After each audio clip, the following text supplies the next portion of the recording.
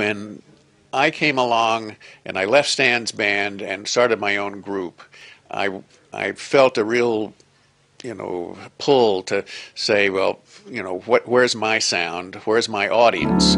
And I recognized that playing with Stan after and sharing, I looked out at the audience. I was in my early 20s, but all the audience were in their 40s. And I said, you know, if this is my audience, by the time I'm in my 40s, they're going to be in their 80s. So I won't have an audience. So I said, where are the, what are the 20 year olds listening to? How do I connect with them? How, you know, how do I connect with my own uh, generation? So I asked myself, well, what do I like?